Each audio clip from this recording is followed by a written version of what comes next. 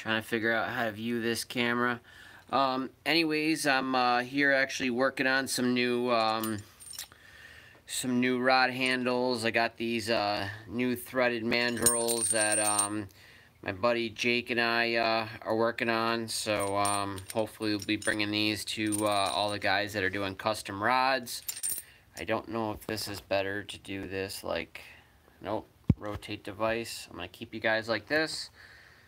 Give me two seconds to uh, get a better setting for the, the phone here and I'll, I'll get with all you.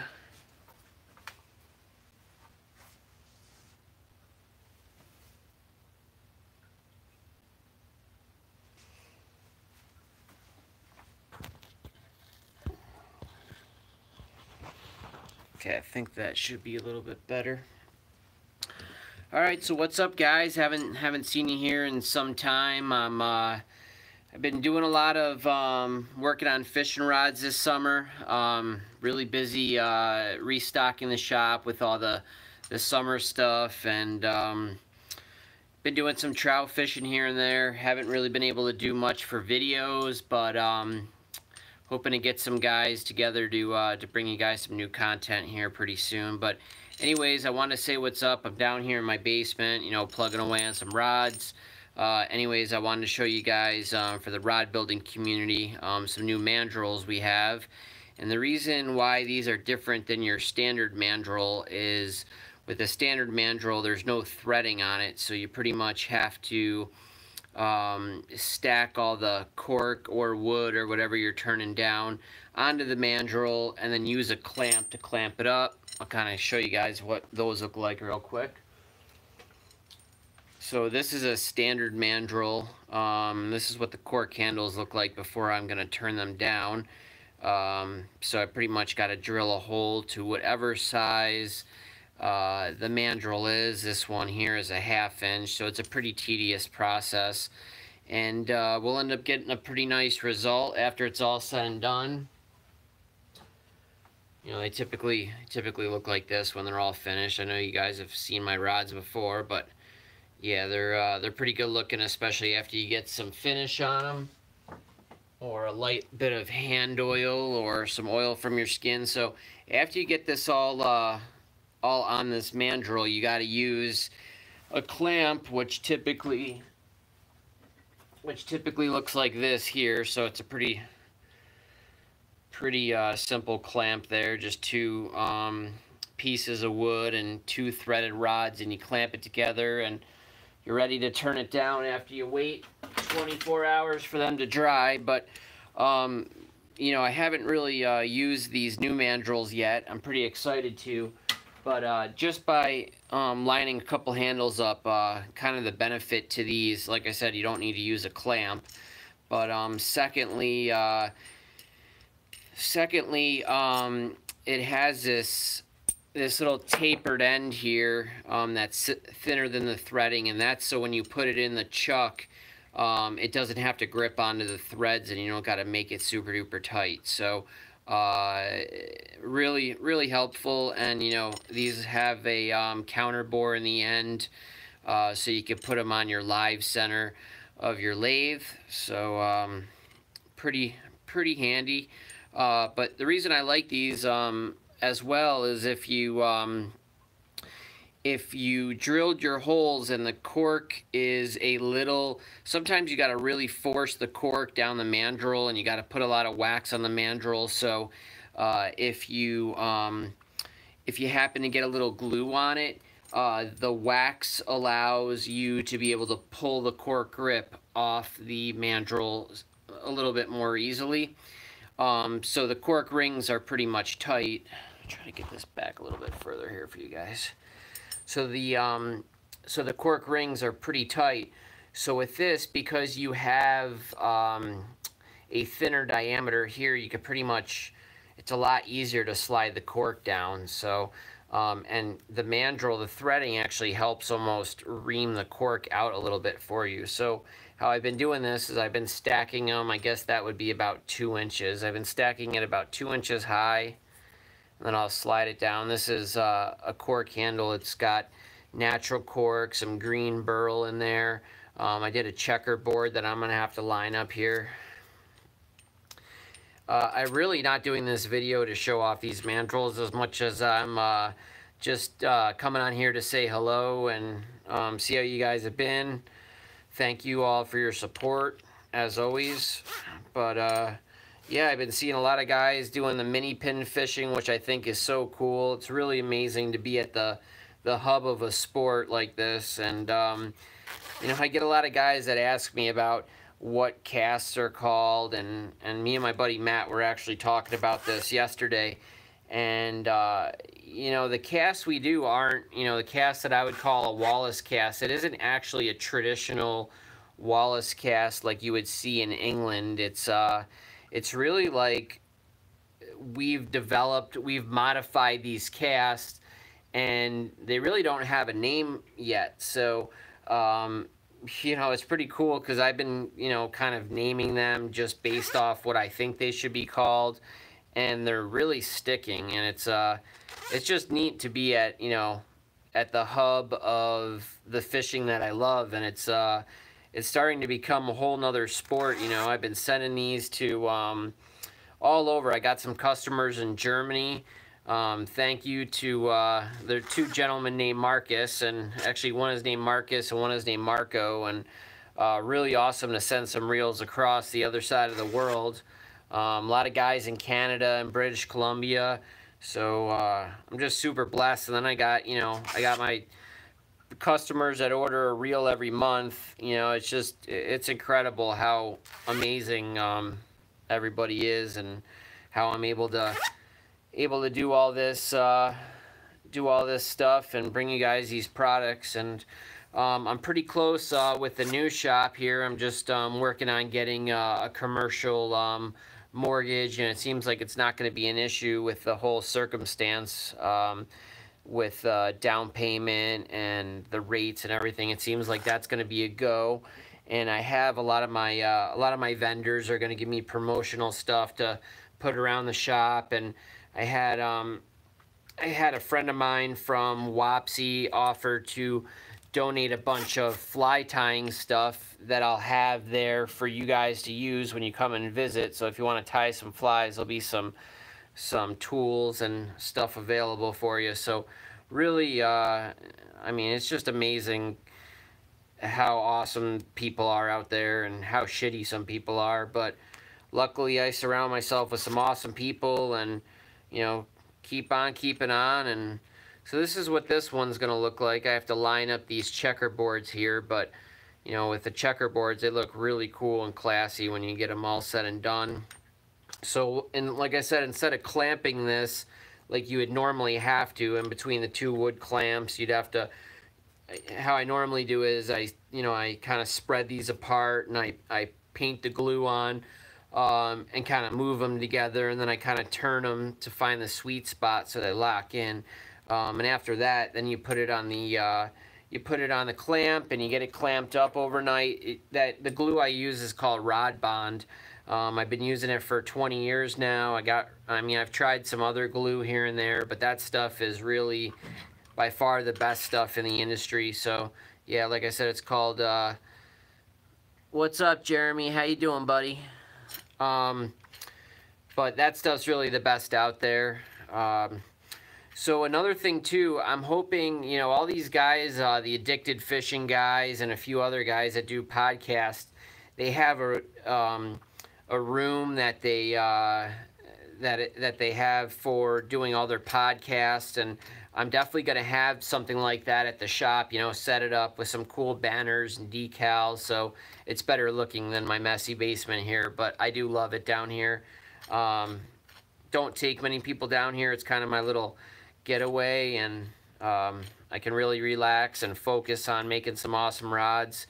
Uh, so yeah, I'm going to have a cool room that I'm going to be able to do these podcasts. I got to find a team of guys locally here in Buffalo that can set up the camera and do all that. Um, you know, that's the whole thing I'm missing with uh, my channel and everything. I could really have a kick-ass channel if I could just, um, if I could wear a GoPro and then give somebody the GoPro to make a cool video. That would be so much easier. But I'm just so busy. I and I don't have a computer where I could edit the videos and all that stuff. But uh, but yeah, so this is a handle. I got to still glue it, but that kind of shows you guys um, this new mandrel. And um, I'll be sending people to this video to kind of show them this new product that we're to have. Um, I've really been getting into selling uh, rod building components lately. I've been making a lot of reel seats for people. And of course, I have all the colored hardware to go along with the reels. So you get rods that are just absolutely incredibly gorgeous when you put the reel with the rod that and they're all matching it just it looks just it looks like a million dollars it really does but um not sure what uh, everybody's been up to I hope you guys have been getting out and doing some fishing uh, the the walleye fishing hasn't really set up great here in Lake Erie um, we've kind of had wacky temperatures and it's still the lake's still fairly cold um, it's been kind of weird you know like today was 82 degrees but you know, you've had a lot of 70s, you know, and, and at nighttime it's been getting in the 40s and 50s. So it's been it's been awesome for the trout fishing. It really has. And, uh, you know, the, the, the, brown trout fishing up in the mountain streams um, up in Pennsylvania has been, has been doing really well.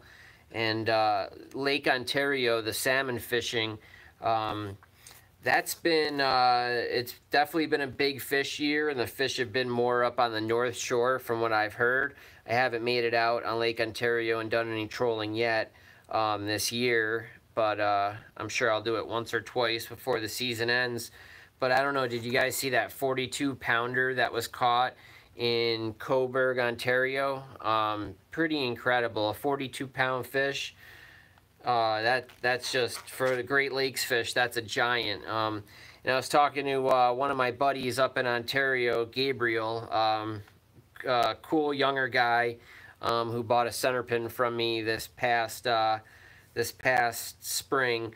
Um, you know, he had told me that uh, salmon salmon will typically gain a pound a week in the summer which would make that fish 60 pounds, you know, when it would run in August or September.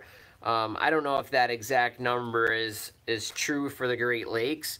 Uh, he said that he had heard it from um, a charter boat captain in British Columbia, which I absolutely believe that kings will put on a pound a week in the ocean up in uh, British Columbia. But I would say if the bait source is good and the temps are right, um, a salmon could absolutely put on a pound a, a pound a week here in the Great Lakes. Um, and it's kind of the same story in Lake Michigan, uh, from what I've heard. Um, it's it's mostly all um, wild fish at this point in Lake Michigan. Uh, Michigan stopped stocking kings, so they're re really relying heavily on their wild natural spawning populations, and it is absolutely incredible that um, that the fish could spawn so well in Michigan that they don't need to stock salmon anymore. And that just shows you, you know, if if you pick the the right fish for the right area, they can flourish just so incredibly. Uh, you, you know, they've they've had um, they've had their own strain of fish in Michigan. I don't know for probably hundred years at this point the first uh, steelhead were stocked in the Great Lakes in like the 1870s.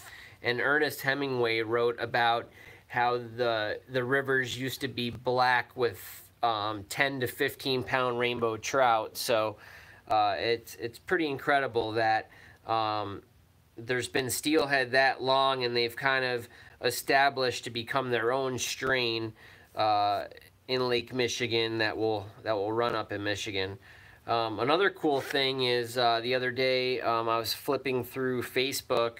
Um, it was actually on June 5th, and because of what happened, I can't really um, forget. But uh, a friend of mine, Sean West, and his his um, wife or girlfriend Buffy, they they usually fish uh, the Ontario tributaries in New York, and I saw them catch a uh, a Chinook salmon that I wish I could show a picture to you guys right now, but it was a fairly, I mean, it wasn't a black fish, but it was, you know, a green, you know, a green bronze salmon that they caught in, on June 5th in the river that looked like it was mature enough to start spawning within, within a month.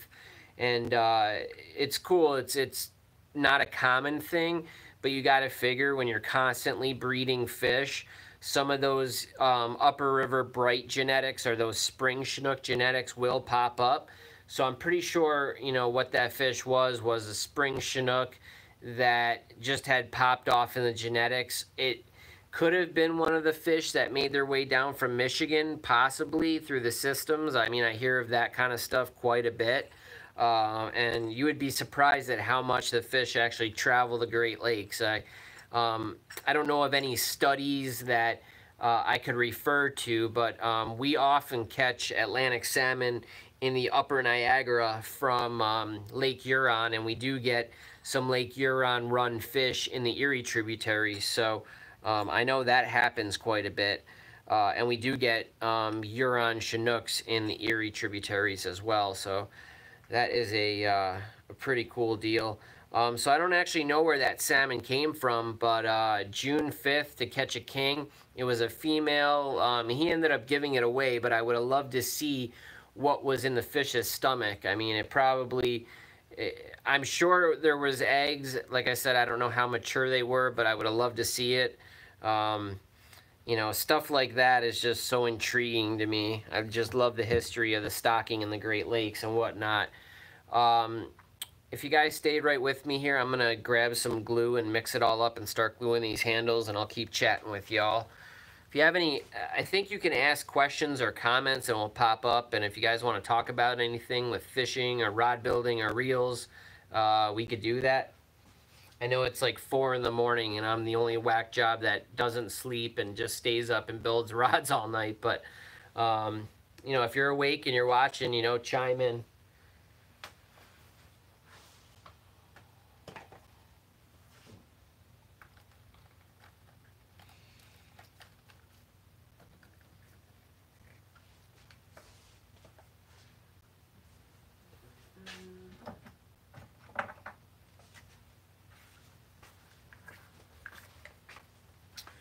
So this is a product that I typically like to use. Um, I've been using it forever. It's called Rod Bond. Uh, it's uh, it's made by Trondak um, in Monroe, Washington. Really incredible stuff. There isn't a, a better wood, a better cork handle glue that I've used. Um, I've tried gluing up some. Um, I started messing with birch bark, and you kind of get uh, kind of get some thin rings and thick rings. And this is a hard a horrible example because it's not turned down so you can't see it. But I glued this up with a wood glue um, just to see how that's going to work. But I'm going to try these birch bark rings uh, that I've used for um, for these handles. I'm going to use a rod bond on them. Uh, the other cool thing with these with these clamps too is um, when you have the birch bark, uh, it typically will like bend like a potato chip, like after you harvest the birch bark and you make all the rings, which is an unbelievable, huge project. But um, I did it this uh, this past spring. Um, got some beautiful birch bark. Uh, it's from a yellow birch. It seems like what most rod builders use. They buy the sheets of birch bark and it's black birch, but um, I use the yellow birch and um, I got some really thick stuff, so it should be really cool because I can mix the thicker rings with the thinner rings and uh, get some really, really cool results here. Um, but like I was saying, the mandrels are also cool um, being threaded because uh, you could slowly tighten it down. So when you stack all the birch bark on there, and if it's got a little bend, you could slowly tighten it down and let that bend kind of um, kind of like slowly flatten out so it doesn't crack. If you crank it down too much, you'll snap the birch bark.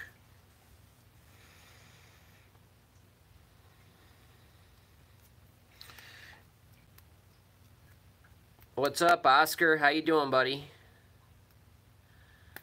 What's up, Brandon?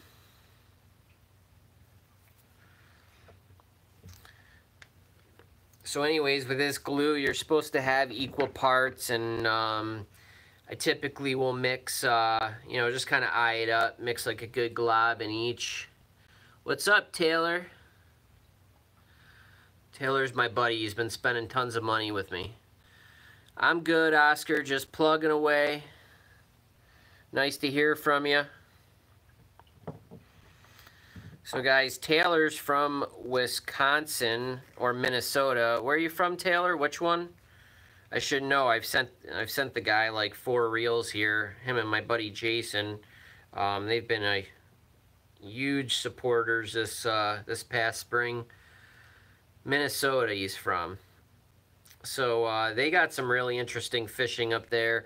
Um, some cool brook trout and brown trout for the mini pins. He was just saying um, he fishes Wisconsin mostly, which, you know, if you guys don't know about Wisconsin, it's like the best brown trout fishing in the Great Lakes. The harbor fishing is absolutely incredible. Um, I love some of the harbors in Wisconsin. They have some really great rivers. I'm not into really naming rivers very often, but um, but if you look them up, there's some great rivers in Wisconsin. Um, the harbor fishing is actually a little bit more unique, um, in my opinion, versus what else is out there. I mean, the the harbors, uh, you can right now you could be fishing the harbors if you catch the wind right, um, you'll get some Chinooks that come in pretty tight along the shoreline. Um, and uh, some of them, I don't know if there's still some warm water dischar uh, discharges, but um, I fished some back in the day, and uh, you wouldn't believe the um, the fish that would come in. I mean, I used to take uh, my little mini center pin back like in the early 2000s to some of these some of these rivers and or some of these harbors in Wisconsin, and I would uh, I would just I would tie these big white articulated streamers, or actually they were jigs, but they looked like a streamer, and I would just twitch them in the harbor like really fast, and uh, I would catch these just monster chrome Chinooks on the on the little center pin, and um, there's some submerged rocks, and I was kind of paying for paying for not using a uh, bigger reel because I couldn't catch up with the fish and keep them tight. So by the time I got tight to some of the Chinooks, uh, they had me wrapped um, around some submerged, uh, some submerged um, rocks down there. But uh, yeah, um, my buddy Jordan, uh, Jordan Wheeler, he's uh, one of my um, buddies from way back. Uh, he was a young kid who invited me up there to go fishing and uh, he ended up catching like a like a 22 pound Skamania off the um, off one of the break walls up in Wisconsin on like a live alewife and uh, it's pretty cool how different it is. You go up to those um, harbors and the the piers up in um, Wisconsin and up in Michigan, and you see the guys. They they catch a lot of the um, they catch a lot of the uh, alewives. They just run gold hooks and they they live line them on the bottom um, with like a fish finder rig with a sliding um, the sliding sinker that uh, the line can travel through the the sinker without the fish feeling it and um, they'll they'll actually set up the bottles all along all along the pier and it's uh, it's pretty interesting. A lot of the guys over here in Lake Ontario they do that for snagging salmon. You'll go there at night and they have all these tight lines out there and they're just waiting for these fish to swim into them so they could snag them in the face, hopefully in the face. A lot of times it's in the ass and um, they drive from all over the world, all over the country to snag salmon off the break walls. It's incredible to me. I gotta grab a paper towel. Hang on, guys.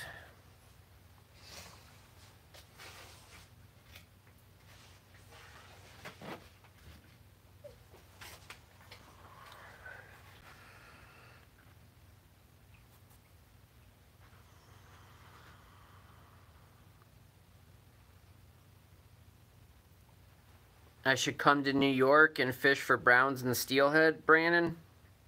Or are you talking to Taylor or one of those guys? Because I do live in New York and I fish for browns and steelhead quite a bit. I don't love I don't love uh, lake run browns. I always called them European trash fish and then uh, then I started fishing more for the inland, the wild brown trout, you know, in the Delaware River. Um, that's one of the more popular wild fisheries um, in New York. Uh, it's up towards Hancock, New York. Um, but there's the East Branch and the West Branch of the Delaware River. Uh, and it's mostly like a fly fishing deal. Um, and and the guys hate the center pinning there, but it's uh, it's it's absolutely incredible if you guys have a chance to look it up. And um, one cool fact on the Delaware is uh, there there was um, a train that was bringing steelhead to the east coast from Washington, and the train broke down, and uh, the conductor of the train actually took five gallon buckets and took all of the um, steelhead, the steelhead smolts that he had on the train, and dumped them into the uh, dumped them into the Delaware River. So they don't have migratory steelhead per se, but they have steelhead genetics in the Delaware, which is really cool. And then those things fight like you wouldn't like you wouldn't believe. I mean, they're absolutely super duper incredible, super fun to catch. Uh, really enjoy it, but the browns are really what what I like to catch when I fish the Delaware. I mean, it's they're all wild fish. You very rarely catch anything under 16 inches because I swear all the big ones eat them. Um, but uh, you got thunder going on over there, bro. Oscar, where are you from? But uh, yeah, we've had some pretty crazy weather. The other day, um, two days ago, I had a bucket sitting outside. So Oscar's from Illinois. Yeah, I had a bucket sitting outside, and uh, I had this. It was like probably a three-gallon bucket, and within two hours, I had that three-gallon bucket almost filled up over the brim. Um, so you know, a lot of those smaller, a lot of those smaller rivers, uh, actually that that you would fish um, during the summer, you'd swear there was no fish in it, and you have to wait for high water events like that to hit it just right. Um, you know, these are creeks that you'd walk down, and you, you know, you would fish them for, you could fish them for days and not see a fish, and when the water gets up, those browns come out from under the undercut banks and the log jams, and they just absolutely go go crazy. It's uh, it's a pretty um, pretty unique thing. And I fished some of these smaller brook trout rivers, and uh, the smaller brook trout rivers, like those fish will actually live under rocks and like under waterfalls that that where the water has spilled over and made a cutout underneath a slate. And it's almost impossible to find these fish.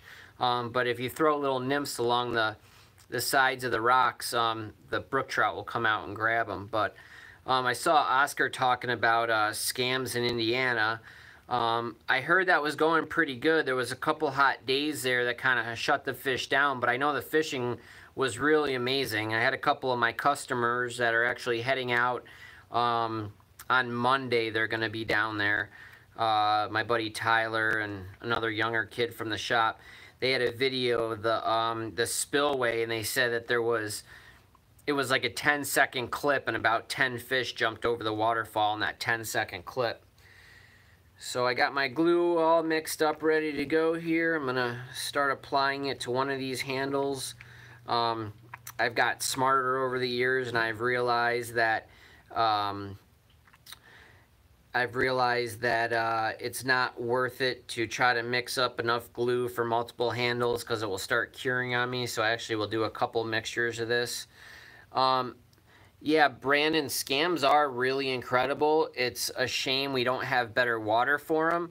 I know that uh, there was a guy who was fishing for bass at Oak Orchard the other day, and he actually caught a scam that was stocked into either the Little Salmon River or the Salmon River. It had it had one of the pectoral fins was clipped, but uh, I, that was one of the, I mean, it's pretty cool. I've never actually gone to Oak Orchard in the summer and targeted those, but I would say if you did, you would probably get into some. Um, but uh, yeah, the the scams. I mean, the scams. If you, I don't want to blow up any fisheries, you know, other than Oak Orchard or Burt Dam, but you know, if you spend some time um, researching what's going on in uh, some of the upper Great Lakes states, you can definitely find some good scam fishing that isn't in the ditches of Indiana. Um, it is great and it is challenging. It gets old kind of quick for me.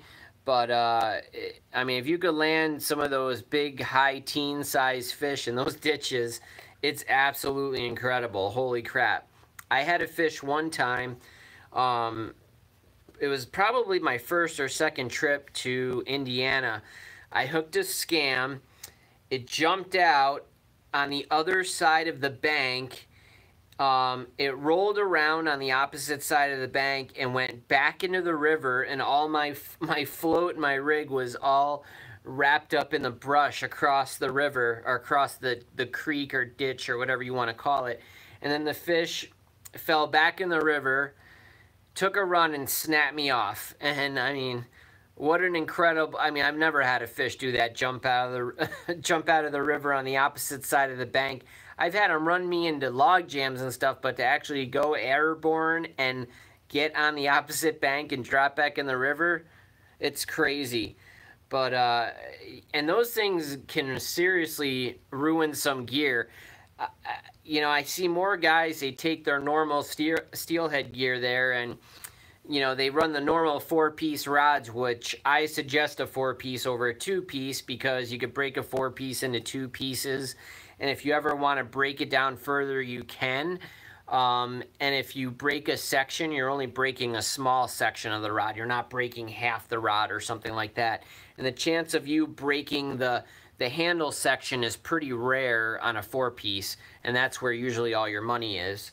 But um, uh, a lot of times when you're fishing for these skams and you hook them they're so violent and they they're so acrobatic that they actually can like separate um, the sections of the rods. And just recently I sold this beautiful carbon fiber net to a friend of mine there and, you know, after about, he said he caught about 30 or 40 skams this season that he put in the net. And a skam went right through the bottom of one of those um, vinyl ghost nets. And it's just, it, it's, it's incredible. It really is. Um, but those things, uh, uh, I mean, Michigan and Indiana is so demanding on gear because you got log jams and logs which you're constantly hooking. You got trees all over that you're smacking the rod into and and um, you're you're hooking fish that are just kicking your ass and snagging wood is like the worst thing to snag because there's like a little bit of play and when you hook a piece of wood you're not gonna like it, you're not gonna wear your line off and be able to snap your fluorocarbon. So what's happening is you're stretching your main line out over and over and over again. And if you're if you're jerking the rod, you know, up to try to get the snag out like this, what ends up happening is, you know, you just start to separate those pieces of the rod. So make sure after you land a skam or you get a snag, you know, check check your check your rod. You know, make sure the sections are tight, and um, you know, just just think about too how much you're beating up your main line every time you do that. And one thing this last year, salmon fishing up in uh, Michigan, um, that I realized, especially with the new chromium line. Um, what's up, Duke? How you doing, bro? I was hoping you would chime in. Um, I figured you'd be up. That's my buddy Duke from Washington. Um, so I forgot what I was saying. But yeah, so if you if you're snagged up and you're using a low stretch line like a chromium um, or any line you don't want to do this to, you don't want to like point the rod at the snag and just reel because all that tension is going to eat right through all your line on your reel. So if you got a good snag and you can't seem to break it real easy, you got to like grab the line in front of the reel and try to back up where you're not going to cut the line through the rest of the line that's sitting on the spool. I see a lot of guys, they damage their line and they think the line is faulty. But when you're snagged up and you're reeling 20 pounds of pressure against itself, something's got to give, especially if you don't have a good layer of backing to kind of like give it some cushion. Yeah, that that chromium stuff, Oscar. If you haven't tried it, it's absolutely incredible. It's it's a game it's a game changer in my opinion, for sure. Um, we're actually pretty damn lucky to have that line, in my opinion.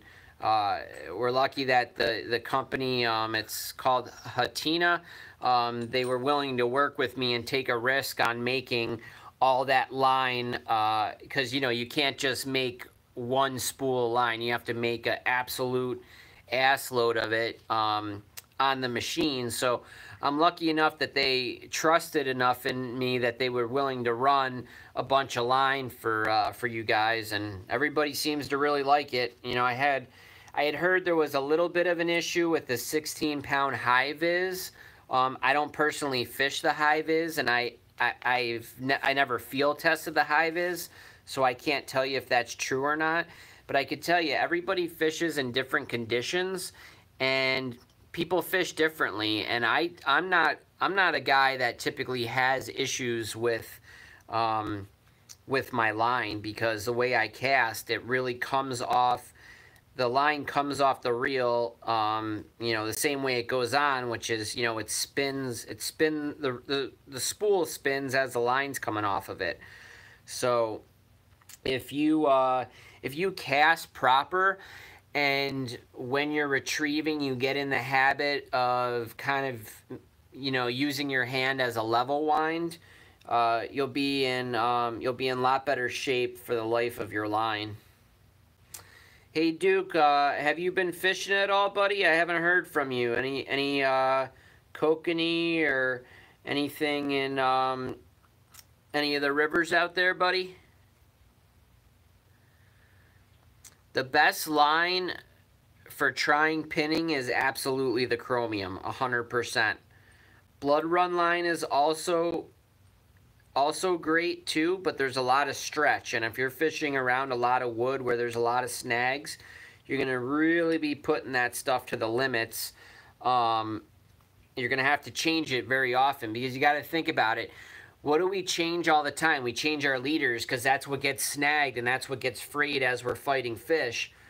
But uh, we don't really change our main line very much because it's all rigged up. It's got all of our shot on it. It's got our float on it. So we pretty much just leave our main line um, rigged up and we're changing our leader. So there's a fresh uh, leader on that's constantly going against our beat up main line. You know, after a few fish and after a few snags, the main line has really had a lot of pressure and a lot of wear and tear on it. So, you know, you do want to check it every once in a while. What I'll do is I'll just slide up, you know, 10 or 15 feet. I'll slide my shot and my float up the line and um, I'll, I'll wait till I feel like where it's, I'll wait till I feel it's really fresh line and I'll, I'll cut off 10 or 15 feet. And, um, and that way, you know, by doing that, you're not you're not really damaging much line. You're not going through much line. And I'll typically do that every other trip or something or at the end of the trip. I don't change up the line very often or I don't cut a section of the line off very often, especially if I'm trout fishing. I very rarely do it. With a trout fishing, I'm typically not really running much over a five or six pound leader, maybe a four pound leader. Let's see if I could figure out how to get some of these comments back.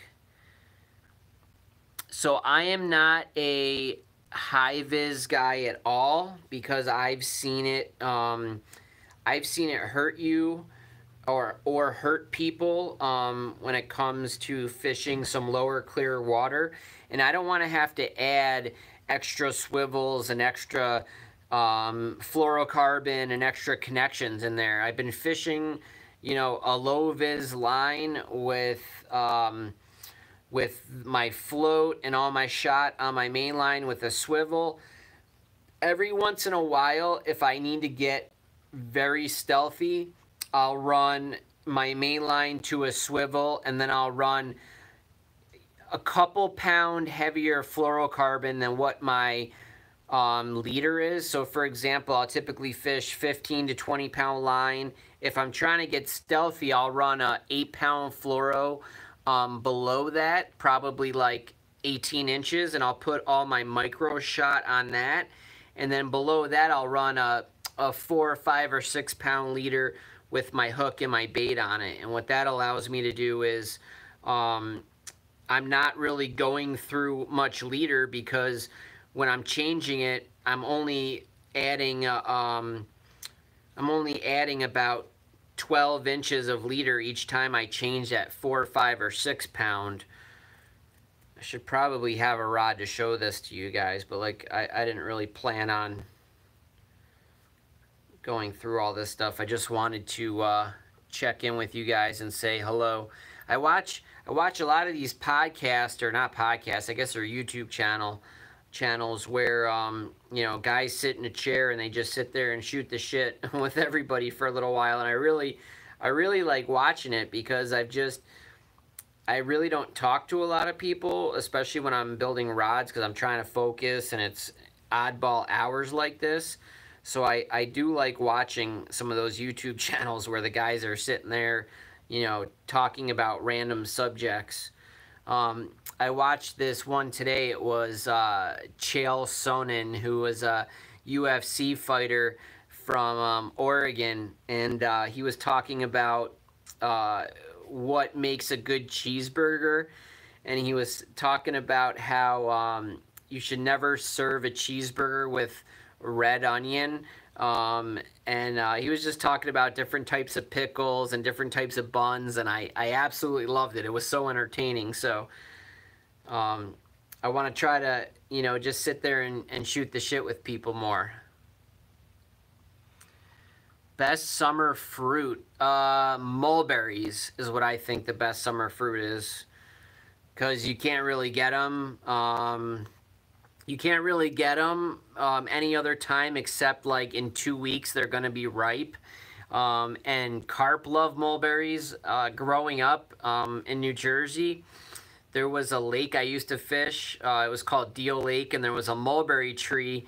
And I never ate the mulberries. I don't know why I never did, but I used to see them staining the the sidewalk, and I'd see them in the trees, and I would never eat them. And um, my partner Tony in the real business, uh, he's his dad has a mulberry tree, and oh my god, I can eat a million of those things. They're absolutely incredible. And Tony's brother John gave me a couple seedlings that um, the birds eat so many of the mulberries that they they poop the seeds everywhere and you get little baby mulberry trees sprouting up everywhere. So he gave me a couple and I had one live. I planted it at my daughter's house and they're just awesome. Yeah, they are really. Uh, it's really cool to see if you're if there's a mulberry tree by a lake though, because the carp really like to sit underneath those those trees and catfish. I mean, they're definitely fruit eating fish for sure. What's your guys' favorite fruit? I've been I've been eating. I love. I mean, you can't beat a good nectarine, a really sweet nectarine. Holy cow! I, I had one the other day, an organic one. It was just off the charts. I like papaya too. Papaya is pretty damn good. But the, the nectarine was absolutely incredible. And you can't beat a good blueberry and a good strawberry. You know, the other day I got some mangoes that were called honey mangoes. And they were definitely not nearly as good as a standard mango. Like they were like really sour. They were from Mexico. Uh, I I don't know. I was very disappointed in them. And and I don't know what food store you guys shop at, but over by me we have a a locally owned grocery store called Wegmans that started in uh, Rochester. Um, and it's absolutely incredible. I mean, Wegmans is by far. I mean, we got Whole Foods here. Um, I think there's uh, there's this shitty food store called Tops. I mean, it's shitty now. Back in the day, it used to be really incredible, though. I guess it was kind of. Uh, it just can't keep up with Wegmans. Wegmans really they carry so much incredible stuff. I mean, they get fruits that you've never seen. Um, there's these oranges called Sumo oranges. They're just off the charts good. I've definitely never had a red mango. I don't know. Uh, I don't know when those are in season or where you get them, but anytime I see like an oddball fruit, I always try to buy them because I mean, how cool is it that we live in a world that we're able to try fruits and meats and vegetables and cheeses from all over the world? I mean, how blessed are we? It's it's pretty uh it's all the small stuff in life that that we get to have. That is just so awesome. I had uh, some buddies come up, um, come up from Ohio. Uh, my buddy Matt, my buddy Joel, who are also steelhead fishermen. They're actually uh, my mom flooded my house uh, when she was helping me clean, which I love my mother, but you know she uh, she flooded my house and I had to put an insurance claim in because um, I had to cut the, my kitchen ceiling out. Um, and luckily, I have all these amazing friends who um, did trades with me and everything uh, to to take care of fixing up my house. But um, Matt, uh, Matt and Joel, they're they're gonna come up and do all the tile in my kitchen and in my upstairs bathroom. I've ha I haven't had a vanity um, in my bathroom for like six or seven months now, but. Uh, but yeah, so they're coming up, and yesterday we went um, to this place called uh, Juicy Burger, which was really, it's really good there. They have fresh cut fries, and it's amazing. Uh, you know, you fry a potato in oil, and you put a little bit of cracked salt and pepper on them, and how good, how good a, a French fry is. It's just, it's awesome. I got to try to do some some smoked fish here, some smoked meat on the grill here pretty soon. It's also walleye season, so, you know, it's fish fry time. It's tough to beat a walleye fish fry. Have you guys ever, uh, have you guys eaten any of those skams that you were talking about or eaten any Great Lakes steelhead? Obviously, Duke is lucky. He gets to have, he sent me some smoked fish from Washington that was delicious. Um, the fish in Washington is just such a different thing than anything you'll uh, anything you get around here. I mean, you, you, when you cut the fish in Washington, your mouth actually like waters. It like brings out senses that you didn't even know you had when you fillet fish out of the ocean. They're just so delicious.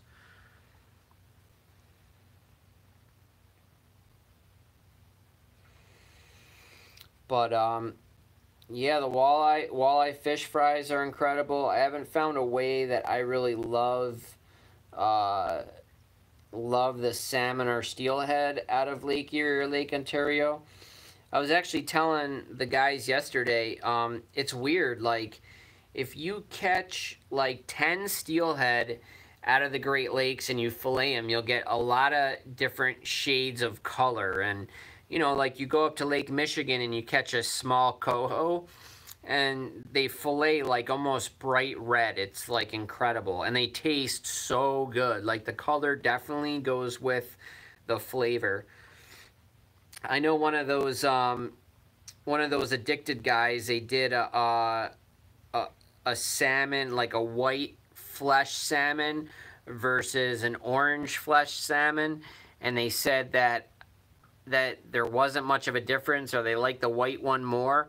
And maybe that's for saltwater fish, but over here in the Great Lakes, the redder the fish is, the better it is, for sure. Um, I never keep wild brown trout, but I did see uh, on one of the the forums, the Great Lakes forums on Facebook, I saw one of the guys was talking about um, how he went out in uh, in the Michigan creeks and he caught some wild brown trout and he showed the fillets and I don't keep wild fish if I could help it because you know they were born in that river. You you keep a five pound brown trout out of a river and that fish is probably like seven or eight years old and they've had to really overcome a lot of adversity to uh, to get that big in a river. Um, and I don't you know to me I like I said you can have you could have meat imported from Italy so that I can buy. So for me to kill a fish that I love, it's just not worth it to me. Um, but uh, yeah, the the fish that he had, the brown trout, it was so incredibly red. I, it almost it almost looked like a coho.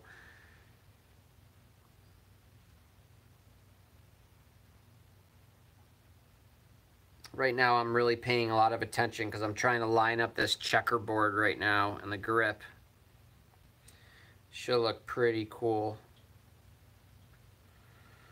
They are a lot of work. Like with a checkerboard cork, you actually have to slice each little triangle to line it all up.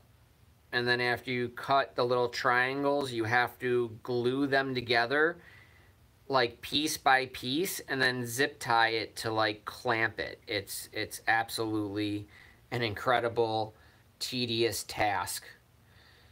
That is why I am no longer building rods for people anymore. I'm only building prototypes to get factory models made and I'm, you know, if Duke wanted a rod, I would build him rod because he's bought in like 20 reels within a year and a half so I would absolutely build him one just because he needs to, if he's got that kind of Colville collection of reels, he needs to have a really cool Colville rod to go with it. And I have so many good customers, I get wrapped into building rods for everybody. The hardest, what was the hardest fishing artifact? What was that, bro? Let me click on this to see if I could... Oscar, what did you say here? What do you think was the hardest fishing artifact you have done? Uh, you gotta reword that, brother. I don't know, like... I don't know what that means. Maybe the hardest fighting fish or the the coolest piece of fishing equipment that I've had. I, I'm not too sure what you're asking. But I've had some really cool equipment. I actually, uh, in my basement down here, I have some some really old blanks. Like I got some Lama glasses from the 90s. Um, so I have uh, one of my favorite rods of all time. It was one of the first float rods I ever owned was a G Loomis IMX. It was a 13 foot two piece um, from Canada. It was, they're made in the USA and then they were shipped to, um, I think they were shipped to a place where they were, I don't know the actual history, but the gentleman's name who was in charge of Loomis Canada, his name was Lorne Green. And basically he would buy these blanks and he would get them shipped to Canada and he would have them built. And he had the Loomis IMX um, which was so ahead of its time. And I was super lucky. In 1998 my dad got me a 13 foot Loomis IMX and a Adcock Stanton float reel um, so in 1999, you know, I got that for Christmas and my birthday. My birthday is January 7th, so you kind of get both, uh, I kind of get my birthday and Christmas present together. So I was able to have a Loomis IMX for my first rod because it was what was suggested to me. And I had an Adcock Stanton. And when I got into center pinning, I honest to God had no idea it would be more effective to fish with a free spooling reel. The fishing was so good in the Great Lakes back in like the late 90s, early 2000s, I would say up until up until 2008, 2009, 2010, that's when it started to decline and that's when there was so many more anglers. So it was uh, it made just the fishing the fishing pressure more difficult. Um, but uh, yeah, I, I, got a center pin just because I wanted a different, more challenging way to fish. I had no idea that I was getting into center pinning and it was gonna gonna cause me to catch more fish. And I didn't use any sort of eggs or egg imitations for a long time, or it wasn't a big part of my arsenal. I used to use those Mike Atlas jarred eggs quite a bit. And that's actually what I caught my first steelhead on was a cheese flavored one of those. But yeah, it's it's getting it's getting tough. I mean, you know, not only are there more guys, but with the internet now and with all the information out there, you know, guys that spend one year on the river and put a lot of time in can pick up a lot of really good information that like you know, the stuff that I learned over 20 years, I pretty much share with you guys. Um, and I try to really help everybody that, you know, it's kind of my job and my livelihood. So people that support me, I really try to help them and make their time better on the water. So I give them information that I know will help them. Um, but it is uh, it is definitely a different deal. I mean, the fishing was so good back in the early 2000s. I actually started to fly fish because I wanted more of a challenge because it was so easy with the center pin. And you know, with the center pin, I used to uh, I used to pretty much primarily just use jigs, and I would have the I would have the Canadian guys come over um, and they would use eggs and they would you know chum the water with salmon eggs and they would follow it with a with a small egg sack and just kick the shit out of the fish in front of me. Um, and a lot of times it was just you know in the fall time or the winter come spring the fish would kind of hone in more on the jigs and i really ran marabou jigs more than i ran anything and still to this day it's my favorite way to fish is marabou jigs. The bite is so incredible and when they when you hook them they're really they're pegged you know? When you're fishing a bead 40% of the time you're pretty much gonna they're gonna shake the hook and you're gonna lose them I mean 40% is a good number. Uh, with soft beads you seem to get a better percentage you know? I would say you know I would say you lose maybe 30% of the fish or maybe you know 20% So I'm hoping with this new mandrel I have, I'm hoping that when I clamp it all up tight, that the glue doesn't spread out on the threads and then I can't get it off. So I'm trying to not use much glue. The less glue you use, the um, the nicer the seams look. Let's see what you were saying, Oscar. There's got to be a better way than me touching the screen to see what the comments are. Four years, two years, I was doing everything wrong. Yeah, I mean, it's the more you do it, the more confident you get, you know, the more time you spend on the water. I mean, you cannot replace time on the water with anything you're going to read or anything like that. Um, yeah, you know, Duke, it's gonna be it's gonna be good here. I'm more worried about you guys, man, with the doom and gloom of every single year, and with uh, the closures in Washington, man. I'm I'm like, I'm I'm pretty scared of what's gonna happen in Washington. I really hope that. Uh, you know, they figure out a way that the that you're going to be able to fish out of the boats. Um, that's such a stupid rule, anyways. I mean, that should they shouldn't have even done that. I, I mean, if they need to, if they need to put stricter rules in place, fine, but don't risk people's safety. That's just so stupid and people's livelihood. Imagine how many guides, you know, couldn't take out certain clients because they, they couldn't fish on boats. It was it was so stupid. I hope that the guides didn't listen and they just they did what they uh, they stood up for their rights and they fished they fished out of the boats anyways but half the season they closed they made steelhead endangered and they closed the rivers anyways so um, you couldn't have even fished out of a boat even if you wanted to but uh, yeah next year I'm definitely going to do my best to make a trip up there and visit Duke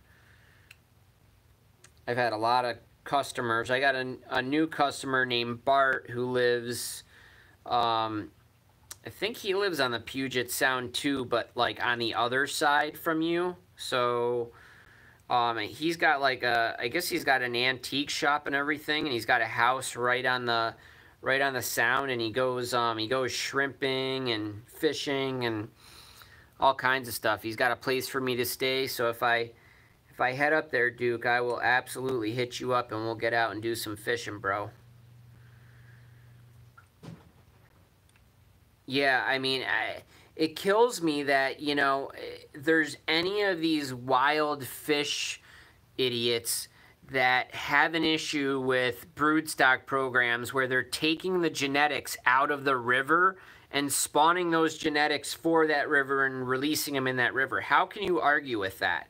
You're taking the best genetics from that river, and the fish they're released small. They still got to go out to the ocean. They're just not born from an egg in the in the river. They're still going to be incredibly, you know, vibrant. Um, the fish that are going to survive, like if they breed a bunch of fish and they release them um, with a brood stock program, the, the ones that aren't supposed to make it won't make it. The ones that have the strong genetics that are meant to come back to the river, they will make it. So I'm so sick of hearing the uh, the argument that stocking fish is a bad thing. I mean, yeah, you don't want to take a fish from a different river system and breed them with, you know, take a fish from a different river system, breed them with another fish from a different river system, and stock them into a into a river where they've been spawning 10,000 years. That would make no sense because, you know, think about I mean, I know when I go to Washington and Oregon, the rivers the fish are different from river to river. And that's why if they like like look at the Skamania for example, they picked a strain that is a summer running fish that works out well in certain rivers. If they did that research here in New York and actually picked the correct strain for the correct river, we would have a hell of a lot better fishery, but they don't even care in New York. They spend like zero time researching which fish is going to do well in which system. I mean, it's it's a really sad thing, and I've lost a lot of confidence in New York. And New York, to me, it pretty much they seem to stock all the best fish in the rivers that that that are in the towns that don't really have anything else going for them. So, for example, they stock really awesome fish or really awesome juveniles in the Salmon River and the Little Salmon River because better fishing means better money for the town and more people will visit. So the rivers by me that, you know, we're in Buffalo, so there's obviously more commerce than just fishing. They don't really pay attention. They put in whatever numbers that they're going to put in and that's it. And the saddest thing is we're supposed to get a fish ladder here in the Cattaraugus Creek, which if they did that, they would open up one of the best spawning rivers in the Great Lakes and it would create, you know, so many wild fish for this system and for all the other systems.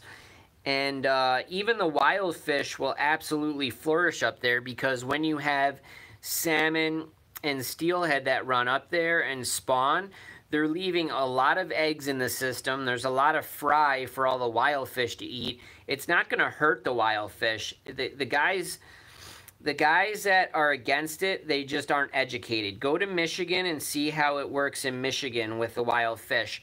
The the fish the conditions in the river are so good and there's so much food in the rivers the brown trout the resident brown trout don't even leave the rivers like if they catch a, a lake run brown in michigan that's like a special occurrence like not in the upper peninsula, but on the west side of Michigan, they have very few lake run browns.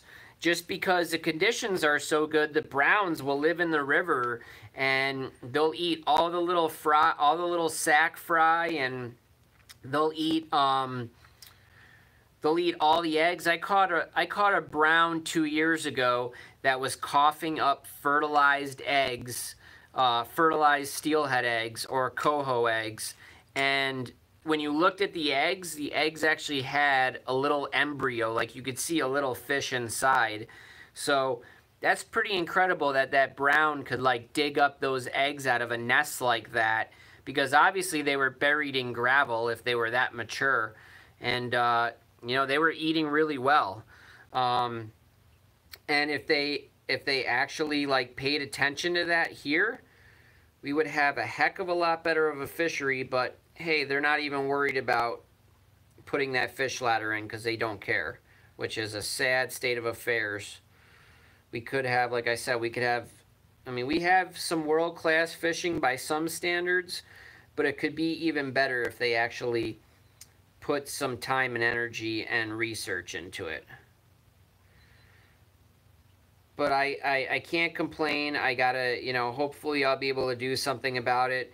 My goal is once I get this new shop set up, I want to try to get, you know, some sort of um, pen rearing project on the Cattaraugus. Um, and I don't really have the time, so I'm going to need help from a lot of the local anglers, you know, to pitch in pretty much just their time. I'll be able to get people to donate the money we need for the pen project, but I'll need people to go there and feed the fish and help get the pens out at the end of the year and all that good stuff. Which luckily, I know some pretty awesome people.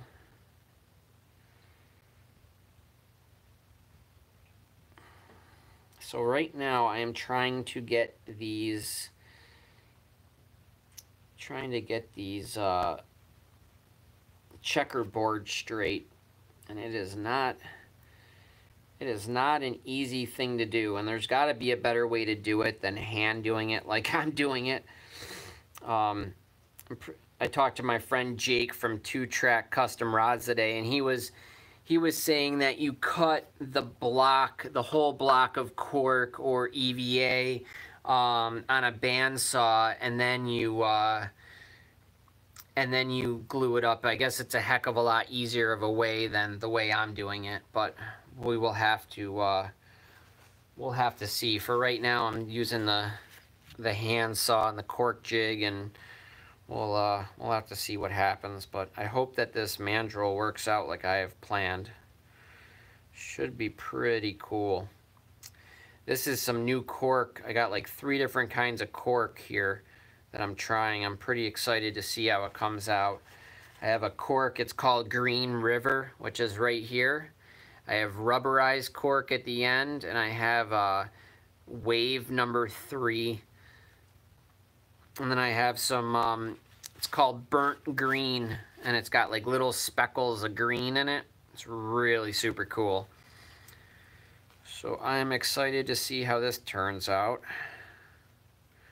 Alright, so I got the first one done.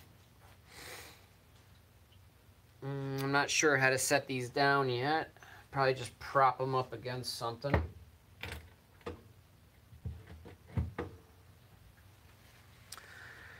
All right, well, I think I'm going to go back to the podcast, guys. Thanks for uh, interacting and commenting. I really like to hear from everybody. Duke, thank you so much, brother. Love you. Appreciate all you do, man, all the support. Oscar, thanks for tuning in. Um, Taylor, always a pleasure, brother. Thanks for everything. Hit me up tomorrow and I could take some of that money that you were uh, sending me pictures of um, and get you a new reel. But uh, I appreciate all you guys. Love you all. Hope you have tight lines and I will um, hopefully see you sometime uh, this week or next week. Adios.